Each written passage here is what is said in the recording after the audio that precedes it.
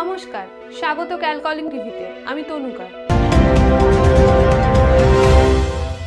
রাজ্যের চার হেভিওয়েট নেতাদের জামিন মামলায় আজ শুনানি হবে না কলকাতা হাইকোর্টে।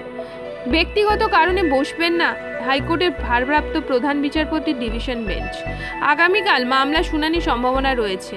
আজ হাইকোর্টের ওয়েবসাইটে একটি নোটিশ দিয়ে জানিয়ে দেওয়া হয়েছে, অনিবার্য কারণবশত আজ প্রথম ডিভিশন বেঞ্চ বসছে না। আর প্রধান বিচারপতি ডিভিশন, অর্থাৎ প্রথম ডিভিশন বেঞ্চে এই হাই ভোল্টেজ মারত মামলা শুনানি হওয়ার কথা ছিল। বুধবার আড়াই ঘণ্টা শুনানির পর বৃহস্পতিবার ছিল মামলার পরবর্তী শুনানির দিন। কিন্তু অনিবার্য কারণে আজ প্রথম ডিভিশন বেঞ্চ না বসায় স্থগিত হয়ে গেল নারদ মামলার শুনানি। বুধবার দীর্ঘ সওয়াল জবাবের পরও ফিরাদ হাকিম সুব্রত মুখোপাধ্যায়, মদন মিত্র ও শোভন চট্টোপাধ্যায়ের ভাগ্য নির্ধারিত হয়নি।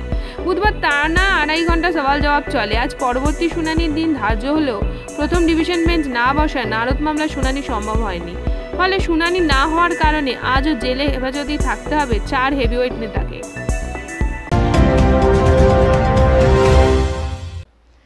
রাজনীতি থেকে খেলার ময়দান, বিনোদন থেকে অফ বিট ট্রেন্ডিং নিউজ।